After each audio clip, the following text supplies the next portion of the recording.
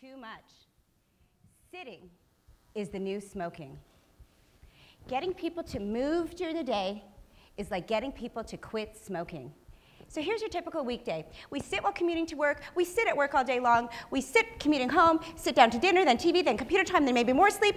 That's up to 22 and a half hours of inactivity. And if we're lucky, we get one hour to exercise. We're so used to sitting at our desks all day at work that we even sit after work hours at the gym. The most popular fitness activity at the gym is spinning. We're just addicted to sitting.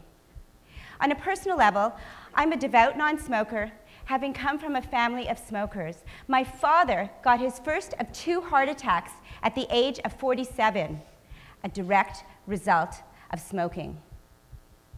My mother, who although quit smoking around the time of my father's heart attack, got neck cancer.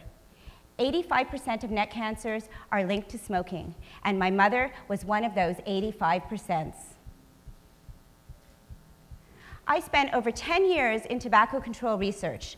I was a postdoctoral fellow with the National Cancer Institute of Canada, and I researched the effects of smoking on health and factors influencing smoking and quitting. Last year was a major transition in my life. I turned 50 and I moved from Toronto, Canada to Washington, D.C. America, the land of opportunity, hard work, and sitting. And that's what I did. I sat and I worked. And as my business grew, so did my waistline. And as my business got healthier, I got unhealthier from chronic sitting and moving much less during the workday than I was used to. And then I realized that the effects of chronic sitting are no different than the effects of smoking. Sitting is as hazardous to our health as smoking and can kill.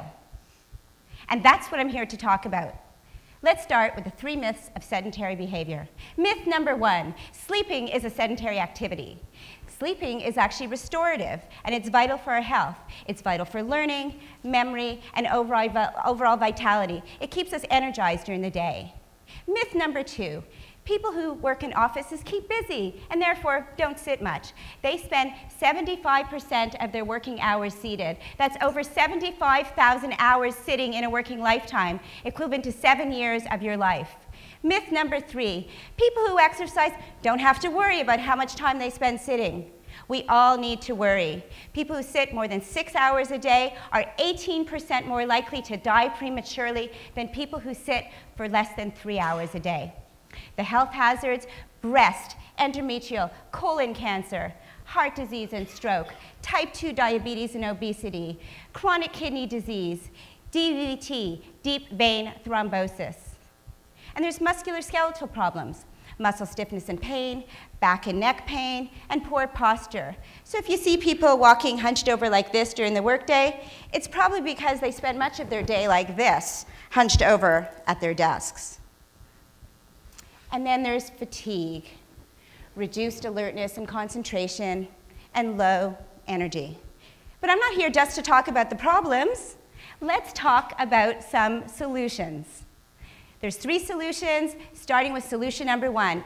Get up, stand up, move more and move often. Take a time out. Practice some fitness micro breaks throughout the day, ideally every hour. I take all my phone calls standing up, and I have walk and talk meetings. Solution number two, beware of that chair. Do some desk exercises. And if you're gonna sit in your chair all day long, why not do some chair abs like this? Everyone join in. we're working our obliques while we're working at the desk. And solution number three, consider a stand-up desk. If you want to keep your furniture, try a partial or add-on desk. If you want to replace your furniture, try a full sit-to-stand desk. It is like the cross fitness of furniture. My vision is a beware of the chair movement sweeping across America where we work and where we play. I've even discovered how to mix a margarita on an exercise bike. Now, wouldn't it be neat if we had chair-free spaces and designated standing sections? Everyone, please stand up. Stand up. Congratulations. Give yourselves a hand. Look at this, a standing ovation. Let's all take a stand against sitting and combat sitting disease, the new public health epidemic of the 21st century. Thank you.